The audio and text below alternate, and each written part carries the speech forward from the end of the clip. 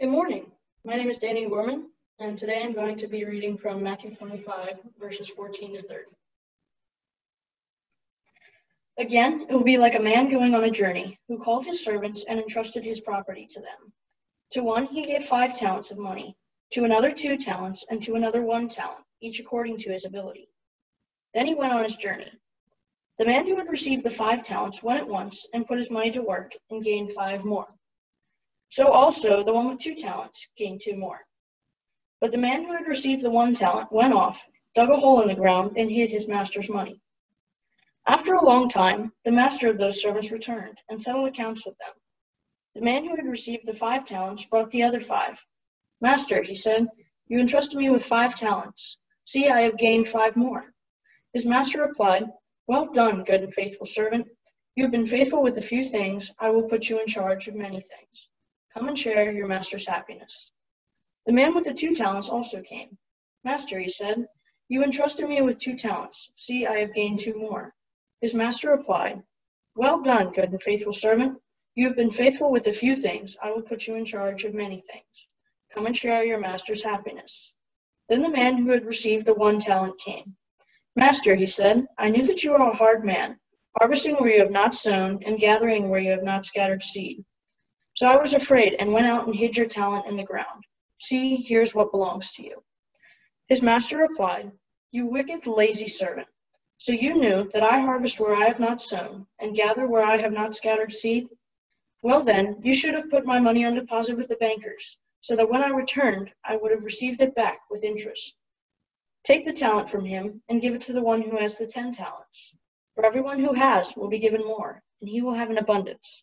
Whoever does not have, even what he has will be taken from him. And throw that worthless servant outside, into the darkness, where there will be weeping and gnashing of teeth. Well, good, good morning, everyone. It's good to be with you, even, even as we continue to be separated physically. It is a blessing that we can utilize this technology to, uh, to encourage one another. This is, uh, this is my first time bringing the message in, in this format, and while, while I can't see you, hope, hopefully you can see me, at, at least from the chest up. Although I wasn't planning on wearing shorts today, I had, had begun my morning intending to, to preach in bare feet. But not that it matters at all in the eternal perspective, but so that you can rest assured I'm, I'm fully set to go. I'm, I'm wearing khakis and shoes. So, my great thanks to those who are working behind the scenes to coordinate the logistics and flow of the services. I certainly am ready, like Kyle said, for the day when we can be together in person. But for now, I'm thankful and content to be with you in this way. And uh, though it's been a few months now since we've since we've been together, I'm comforted by the truth that that we will have eternity to praise the Lord together in heaven. So as I get started, uh, we welcome anyone from other churches who may be joining us, and, and we trust the Lord will bless this time together today. Please open your Bibles with me to the book of Philippians, chapter 2, verses 12 through 30, and, and follow along as I read. I will be reading from the NIV. Therefore, my dear friends, as you have always obeyed, not only in my presence, but now much more in my absence, continue to work out your salvation with fear and trembling. For it is God who works in you to will and to act in order to fulfill his good purpose do everything without grumbling or arguing, so that you may become blameless and pure, children of God without fault, in a warped and crooked generation. Then you will shine among them like stars in the sky, as you hold firmly to the word of life. And then I will be able to boast on the day of Christ that I did not run or labor in vain. But even if I am being poured out like a drink offering on the sacrifice and service coming from your faith, I am glad and rejoice with all of you. So you too should be glad and rejoice with me.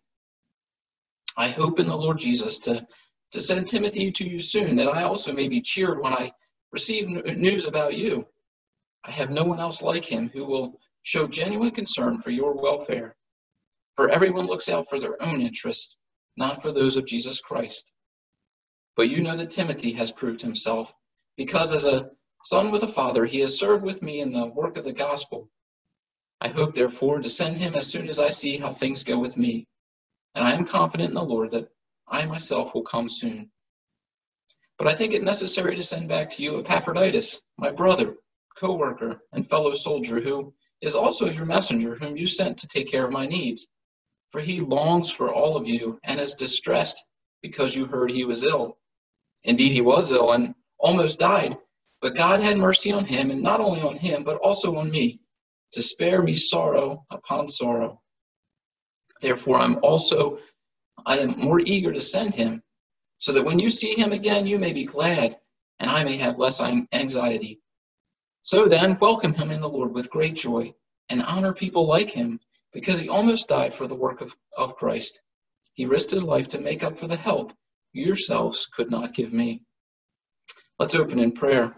Our, our Lord God, we, we thank you for who you are. Lord, we're thankful for you and, and for your son, Jesus. Lord, we look now into your word and, and we pray that, that, that you would use it to challenge and encourage our hearts, that we may grow to be more like our Savior. May we ever be striving to please you. Amen. Well, the uh, the majority of the time I've spent studying and prepare for this message has has been within these past several months, where restrictions have been imposed because of COVID-19. And as, as I've said, I, I miss being with you all. And you may remember that this weekend, this this Memorial Day weekend, was supposed to be our annual church retreat to, to Camp Hebron. It was a sad decision to have to to have to cancel it. Indeed, there are some dynamics of this quarantine effort that have been less than desirable. But, but there's also been some consequences that I, that I found to be a blessing. I have enjoyed the increased amount of time at home that my family and I have been able to spend together. We've played, played board games and we've done puzzles and we've shot hoops in the driveway.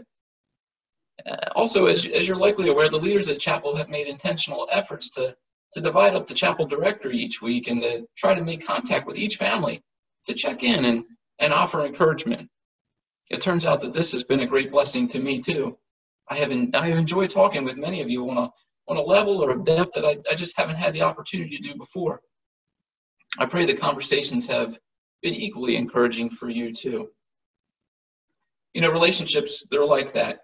They can grow and flourish just by having a conversation, or in the case with Paul with the Philippians, through a letter, sharing a struggle, offering encouragement, inquiring about need. Just communicating and listening, truly listening, can enhance a relationship. If someone for the outside were, were to be able to hear the conversation or, or see the letter, they may not be familiar with all the personal details, but they would likely get a sense of the relationship, the purpose for the communication, and, and the overall tone.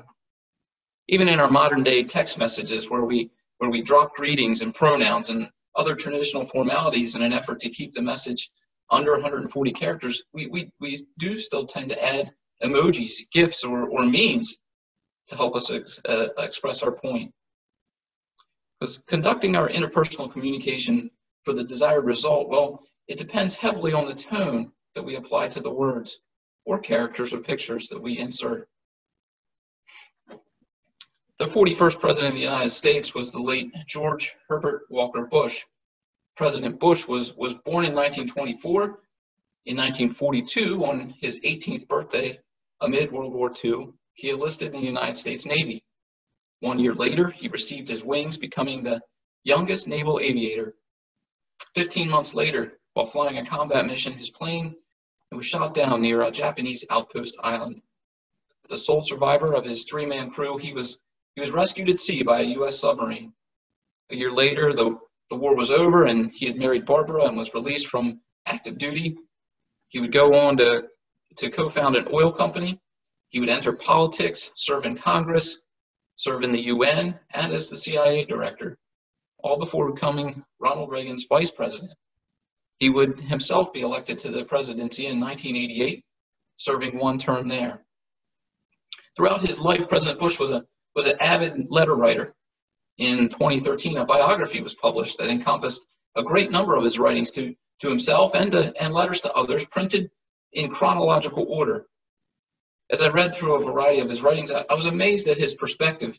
Here was, here was a man who had, who had seen a lot. He had been a part of so much history.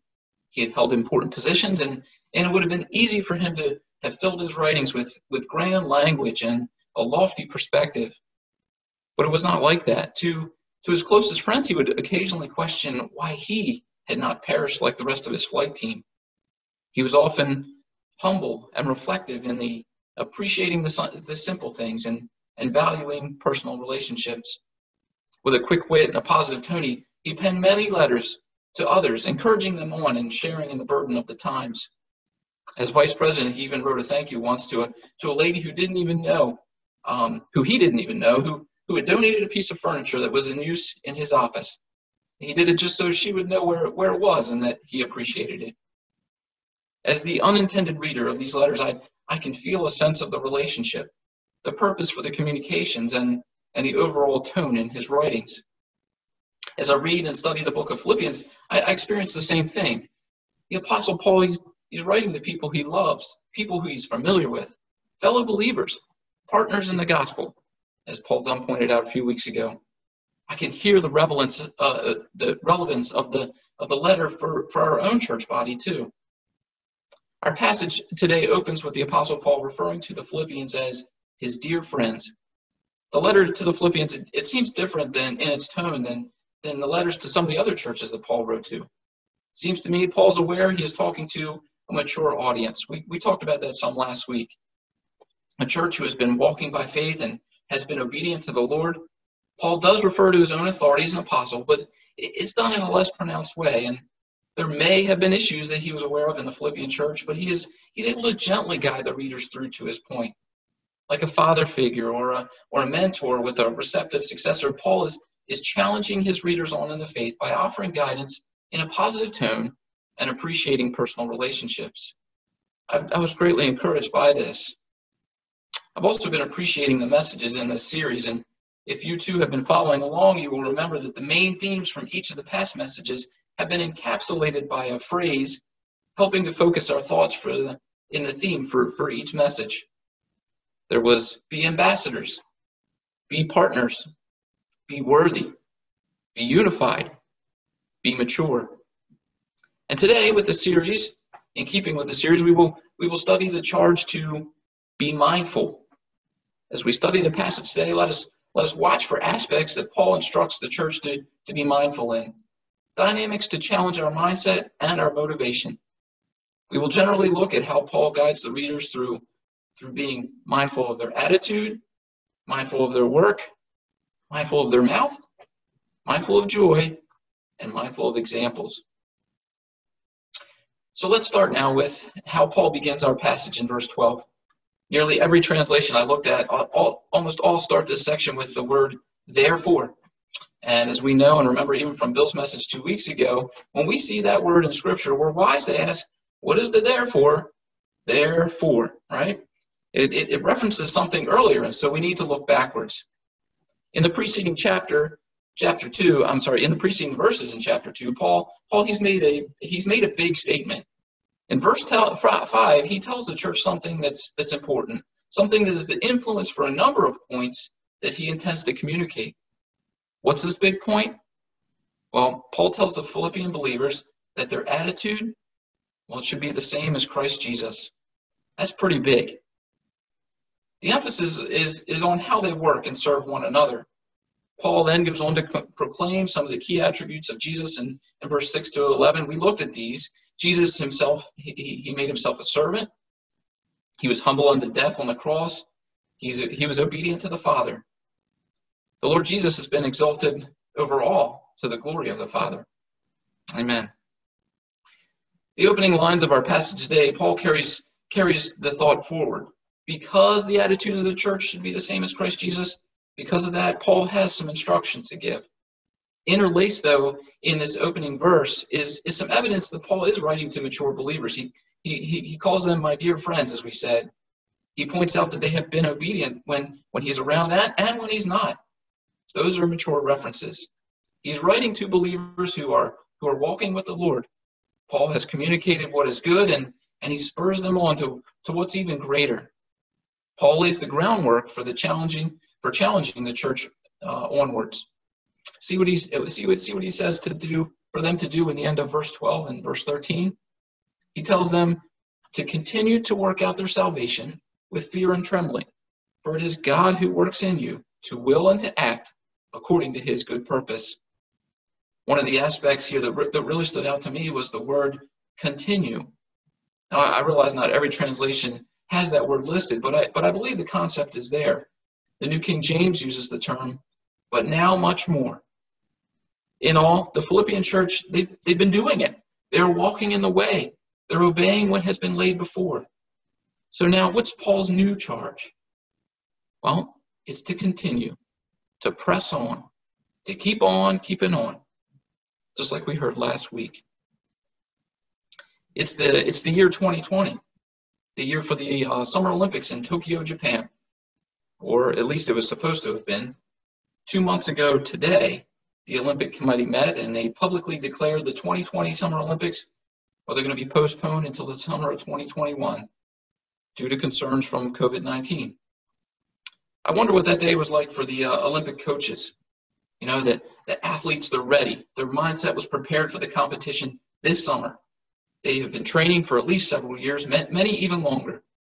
What does a coach say in a time like that? How does how does the coach keep the, the fire lit, the focus sharp, drive alive for another year? Surely they're going to run out of catchy slogans before long. Uh, some coaches, they may say the delay, that'll, that'll prove which athletes are the most determined. Maybe they will point out the practical, that the additional time will help the athlete get stronger. Conceivably, some may say the, uh, the additional time will help athletes' skills become even more refined. And perhaps some will even find comfort in that there will be more time to evaluate the competition. But most of all, the coaches will say to their athletes that the athletes must do, do one thing they must continue. You know, it's important for athletes to have coaches. The athletes themselves, they're the ones with the abilities, the skills, the talent.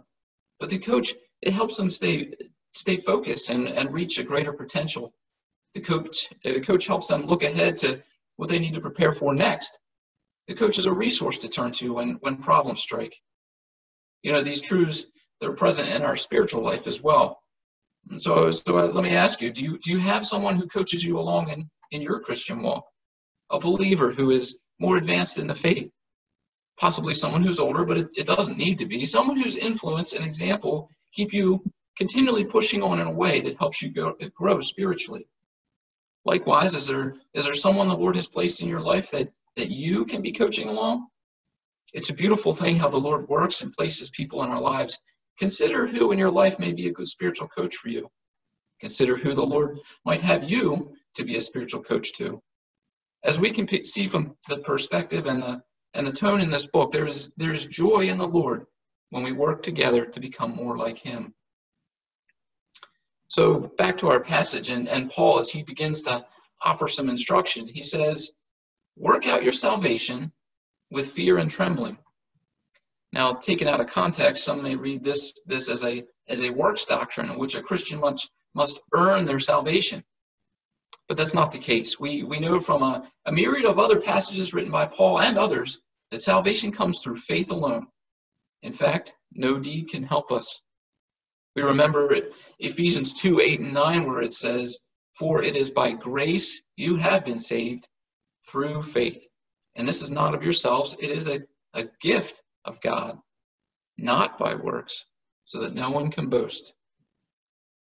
The term, uh, the term work out in our passage, verse 12 here, it's, it's ironically similar to how, how we may use it today when we were going, when we would go to exercise at the gym. We're going to go work out. We're going to, we're going to pump iron. We're going to do some cardio. We're going to exercise. We're going to use our muscles in a complete way.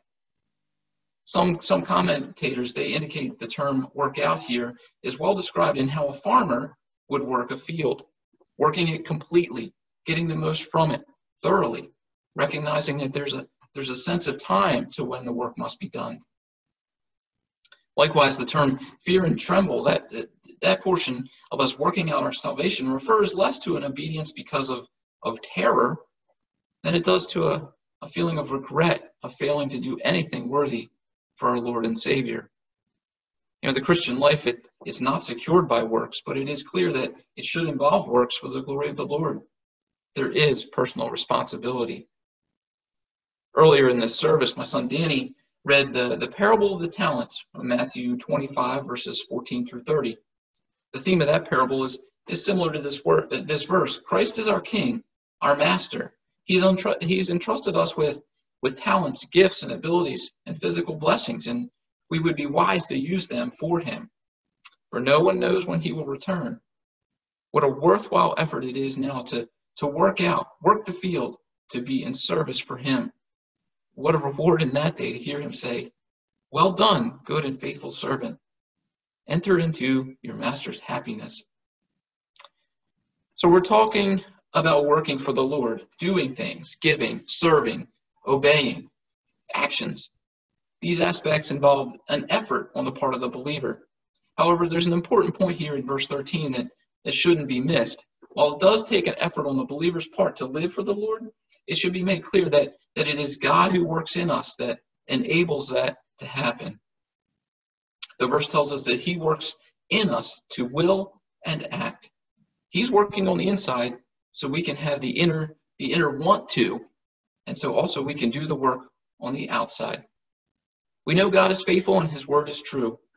He is working within us and, and he's faithful to help us. So why why does God work in us and through us? Well, the end of verse 13 says says it's all for his good purpose, for his good plan. While salvation, while salvation by faith, it's an individual decision, working it out has both an individual and a and a corporate aspect. Largely, Paul is writing to the Philippian church as a group in this book. Given the way the letter is written, it doesn't seem like this concept is, is foreign to them. They're, they're mature, they understand. But what is written to the group applies to the individual first. And Paul transfer it transitions from, a, from broad language to some specifics now. From working the field generally uh, to how you would handle issues surrounding certain crops, if, if, if, if you will. How Paul knew what the issues were, well, that's not clear. But Paul lays out some practical applications for Christians living out the living out the therefore, those striving to have that attitude that is the same as Christ Jesus. Paul gets right to it in verse 14, stating that believers should do everything without grumbling and arguing. Some translations say complaining or disputing or, or some combination of these. Whenever I hear verse 14, I, I think of a homemade country craft sign that used to hang above my mother in law's stove. It read, Thou shalt not whine. It was apparently hung there to thwart off any expressed displeasure at whatever dish was being prepared for dinner. I believe that is similar to what the, the message is here. Look at, look at verse 15. So that you may become blameless and pure children of God, without fault in a crooked and depraved generation. I don't think that the generation the, Phil, the Philippians lived in was any more crooked or depraved than the one we live in now. Nor do I think it was any worse than the generation of of Israelites that, that was miraculously delivered from slavery in Egypt. That generation had seen signs and wonders that, that we can only imagine. And yet it was not long after their exodus that they began a habit that would, that would revisit them over the years the sin of grumbling and complaining, of whining against God, revealing a lack of faith that, that would be at the root of an entire generation perishing in the wilderness. Grumbling and complaining, arguing and disputing, these are not traits of having an attitude that is the same as Jesus Christ. I've heard it said that there is uh, there's only one thing that's more contagious than a, than a good attitude. The implied answer to this open-ended statement is is a bad attitude, and it's true. The contagious mindset swept through the camp of Israel. Now Paul maintains his positive tone here, but the message to the to the is clear to the Philippian church: complaining against each other, grumbling against each other, arguing and disputing. They're, they're not traits that are becoming of Christ and his followers. Now, grumbling and complaining can be a hard sin to detect in oneself. Excuse me, oftentimes there is an issue, or at least half an issue, that has caused the grumbler to be discontent. And is so often true, the issue isn't really the issue, though. How, often, how we end up responding becomes the bigger problem, doesn't it? One commentator advised that that grumbling it's like it's like bad breath. It's easy to easy to detect in others but hard to recognize our own. So why do we grumble and complain? Why do we do it? Well it's it's, it's kind of simple right? It's because we don't like something something's gotten our way it has it has cramped our style it will cause us work now to fix it perhaps we are operating under some preconceived notions about someone else's intent or Sadly, maybe we have stored up bitterness or there's past unforgiven situations that, that taint our thinking. Now, certainly there are things that happen or that are wrong that we that we need to address.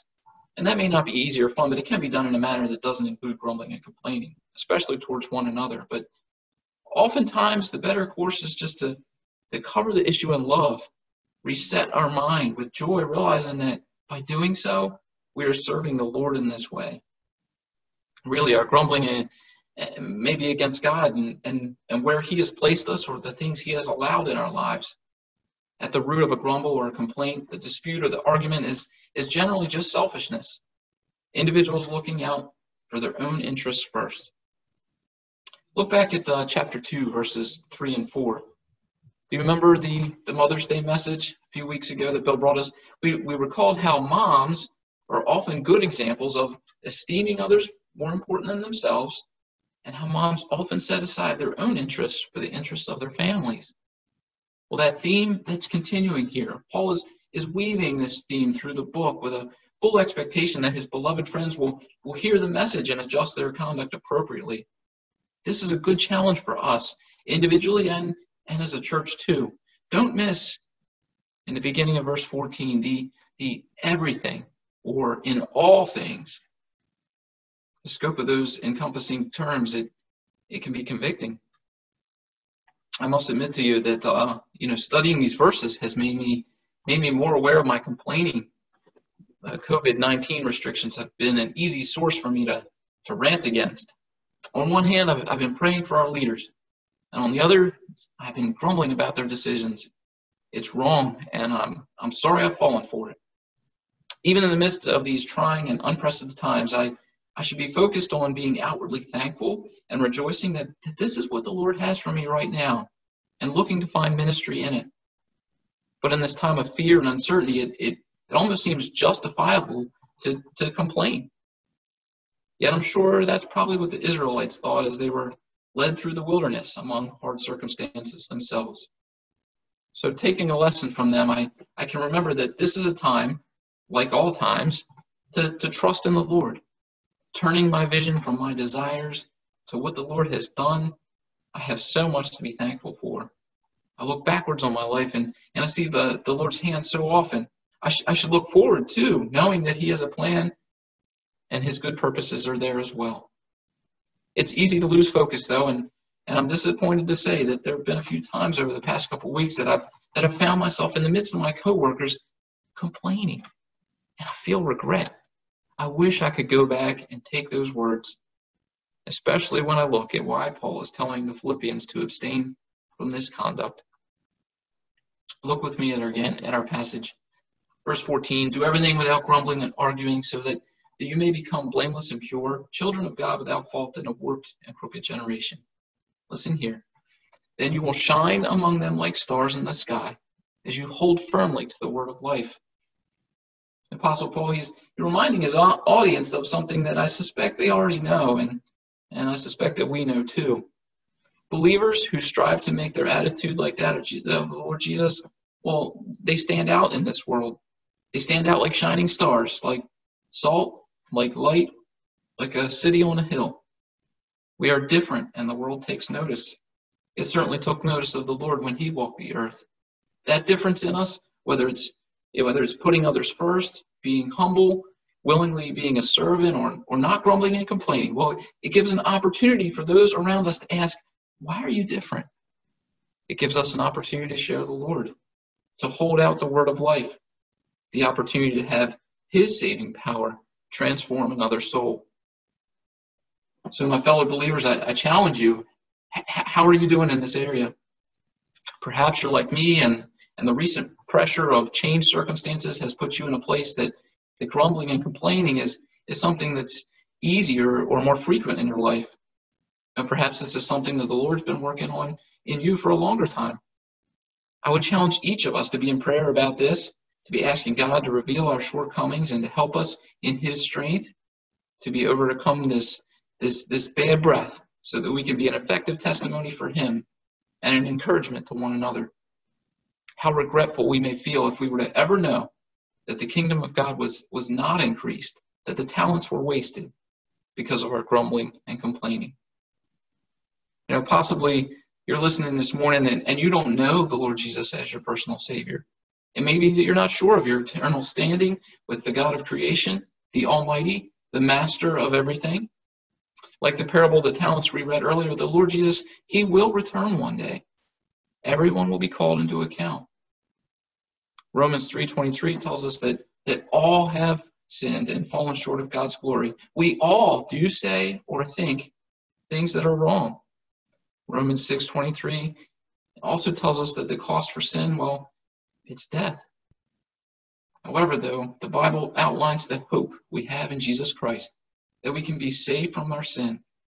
Salvation comes through faith by believing in the perfect work of Jesus Christ. Romans 10:9 tells us that if you confess with your mouth Jesus as Lord and believe in your heart that God raised him from the dead, you will be saved. Jesus Christ died and paid the price for our sin and then and then rose again and is alive as Lord and Savior. When we submit and we accept that, we are a new creation. We are we are believers and we can have a relationship with him. Just as relevant as it was to the Philippian church 2000 years ago, it is is just as real today.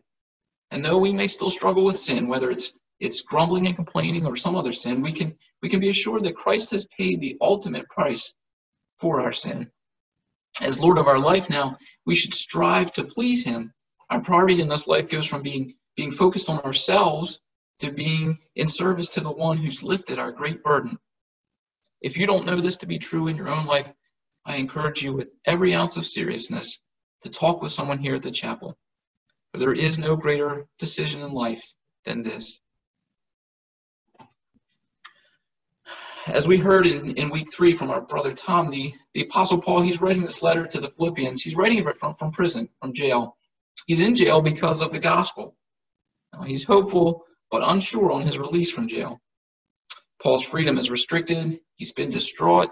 He physically can't see the believers he wants to be with. He has to use other means to send and receive information. Some of, some of that sounds a little familiar, doesn't it? And though we feel constricted and, and long to be together, I, I think we'd all agree that Paul's circumstances were worse. If anyone had a reason to grumble and complain, I, I think he would have. But he didn't. He saw his circumstances as, as given by God and an opportunity to continue ministry in a different way. As we've continu- continually seen in this passage, Paul's positive tone, it, it continues to carry forward. He's just told the believers not to grumble and complain, to, to be a shining testimony and to hold out the word of life. Now look what he says next 16b through 18. And then I will be able to boast on the day of Christ that I did not run or labor in vain. But even if I am being poured out like a drink offering on the sacrifice and service coming from your faith, I am glad and rejoice with all of you. So you too should be glad and rejoice with me. Paul is saying here that the that the Philippian church is a ministry that he's invested himself in.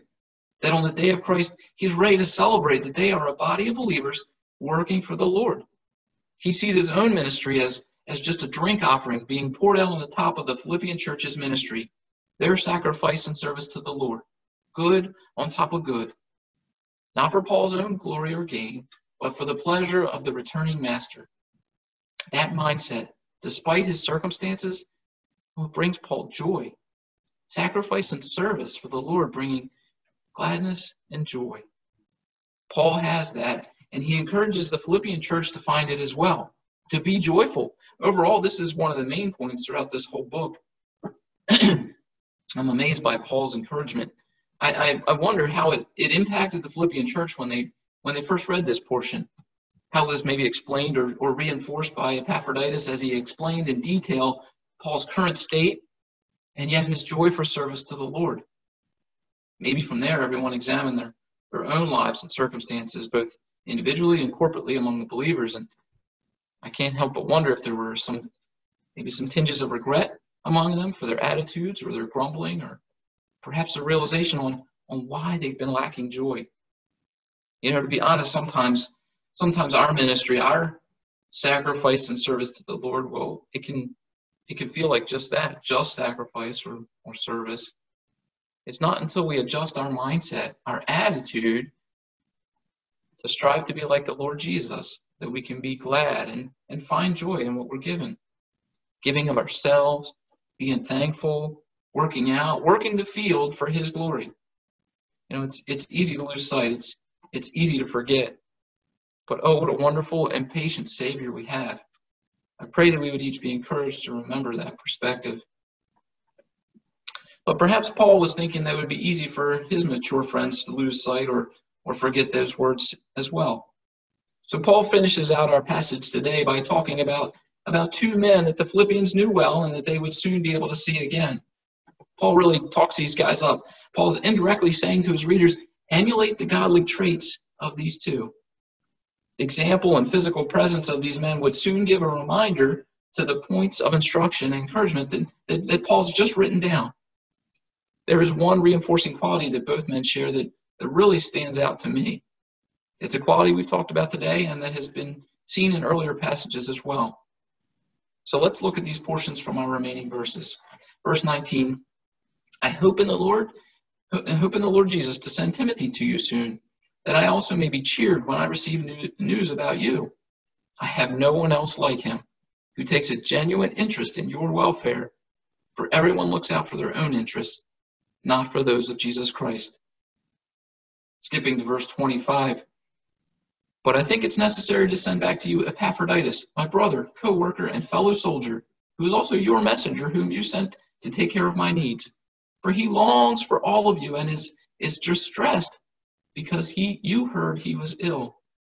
Indeed, he was ill and almost died, but God had mercy on him, and not only on him, but also on me, to spare me sorrow upon sorrow. Therefore, I am all the more eager to send him, so that when you see him again, you may be glad, and I ha- may have less anxiety. The remaining verses in our passage today, they talk of Timothy and Epaphroditus. Now, Epaphroditus, he was a member of the Philippian church, and he had come to bring a gift to Paul, he stayed and assisted. He fell sick and almost died. Epaphroditus became distressed, not at his illness, but that he learned that the church had heard of his condition. His concern was more for others than himself. His, his inner mindset, his attitude, well, it becomes outwardly clear. He felt bad that the church was likely feeling bad for him. His priority wasn't in, in milking his condition for pity or recognition. It was much the opposite. His concern was for others. So Paul indicates he's going to be sending Epaphroditus back. Epaphroditus was likely the carrier of this letter, this, this book that we are studying to the Philippians. It's almost certain that by, by the time that they would read those words, they would have already been happily reunited. And we have Timothy. Timothy, we, we, we know he was one of Paul's most trusted partners. Paul considered him like a son a younger man, Timothy, had matured in the faith and, and he had proven himself. We know that Paul would send Timothy to, to faraway places to deliver messages, to see how things were going, and to strengthen churches. It seems like Paul was likely intending to send Timothy to the Philippians soon, but was probably not going to do so until he, that's Paul, finds out his own situation, how, how his situation in prison is going to work out. Paul says of Timothy in verse 20, I have no one else like him who takes a genuine interest in your welfare. For everyone looks out for his own interests, not for those of Jesus Christ. The implication here is that Timothy, unlike most, has the genuine interest of others at heart. So both these men, Timothy and Epaphroditus, they were they were godly men who Paul built up in his description of them in their work. And I would petition that, that Paul is showing the believers in the in in and through the lives of people that they know what it looks to like to, to live out putting on the interest of others before their own. Indeed, if we look closer at these final verses, we see that Paul too is, is living out this trait. Despite his own needs, his own condition, Paul is wanting to send two of his best away from himself so that others may be encouraged. I, I picture this letter arriving in Philippi the believers joyfully assembling to welcome Epaphroditus, the letter being read, Christians being encouraged, challenged, giving thanks. I imagine the body growing in their love for the Lord and their love for one another as they strive by the, by the working of God within to emulate the attitude of Jesus Christ. My friends and, and fellow believers of Forge Road, we are we are very much like the Philippians. Though we can't be together physically yet, we can we can read these words, take an encouragement, be challenged, and give thanks. While we don't have Timothy or Epaphroditus, we have been blessed with other godly examples in our midst who, who, like them, point us on towards the attitude of Jesus Christ. I'd exhort you to take time to pray and, and be sensitive to the, to the work the Lord is doing within you. Then look for ways to resist grumbling and complaining, but seek opportunities to look out for the interest of others. Ultimately, there is joy when we work for God's glory. I will pray and turn it over to Paul for a song and Kyle to close us out. Our God and Father, we praise you for how you work. Lord, we are grateful for the new life we have in Jesus. We ask that you would be listening, that we that we would be listening for the for the voice of the Spirit, um, and be willing to put ourselves aside and to take on the attitude of your Son, your precious Son. Thank you for the people you have placed here in this body, and help us to work every day for your glory. It's in Jesus' name we pray. Amen.